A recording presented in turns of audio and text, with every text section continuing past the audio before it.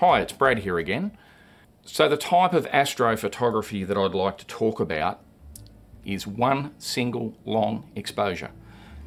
Pick a nice foreground. What makes a nice landscape shot generally makes a nice astrophotography shot. One thing to note, all of these Pentax cameras, the, the menu structure is the same. So the instructions are the same no matter which camera you use, and that makes it simple to swap from body to body. So we're going to turn the camera on. We're going to select B for bulb mode. Pentax has a little green button. You push the green button and that brings up a timer.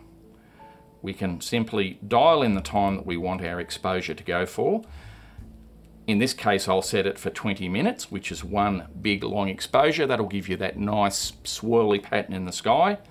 We're going to set our aperture on the camera. So we generally speaking, want it as wide as possible when we're beginning and just learning how to do it. And we'll leave the ISO on 200. This goes onto a secure tripod. You push the button and the exposure will begin. After 20 minutes, the camera will turn itself off automatically and that's it, job done. So that will give you a maximum of a 20 minute exposure. If you'd like to go for longer than 20 minutes, Pentax have got that covered too. We can go into the custom menu, down to the bulb mode options. We select type 2 and it even gives you the instructions on the screen. Press shutter release button to start exposure, press again to stop. This means, effectively, you can put the camera on the tripod, press the button, look at your watch or a timer, and after, say, an hour, come back and press the button and the exposure will be done.